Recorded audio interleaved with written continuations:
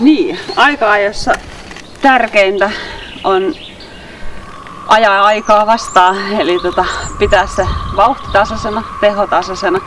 Vaikka se tuntuu aluksi aina siltä, että lähtee liian hiljaa, niin oikeasti se pitää tuntua siinä puolivälissä siltä, että on ajanut niin hiljaa, että ei ole mitään järkeä enää ajaa loppuun asti. Se tasainen vauhti tekee sen, että sun ilmanvastuskerroin pysyy järkevänä. Hetkellisesti liian nopea vauhti, se kasvattaa sun ilmanvastusta niin suunnattomasti, että sulla kuluu tehoa ja energiaa siihen ylimääräiseen kiihdyttelyyn liikaa. Pyöräily on kaiken kaikkiaan säästämisestä kyse, niin aikaa, jossa se on semmoinen, pitää malttaa ja sitten pitää kuitenkin pystyä antamaan kaikkensa. Se on sitä, no belgialaiset sanoo hyvin, että aika-ajaminen on kuolemista pyörän päällä.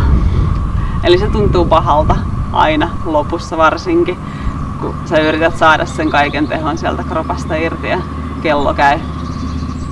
Aika on kiva silloin, kun on hyvässä kunnossa. Sitten jos ei ole hyvässä kunnossa, niin se on ihan hirveetä.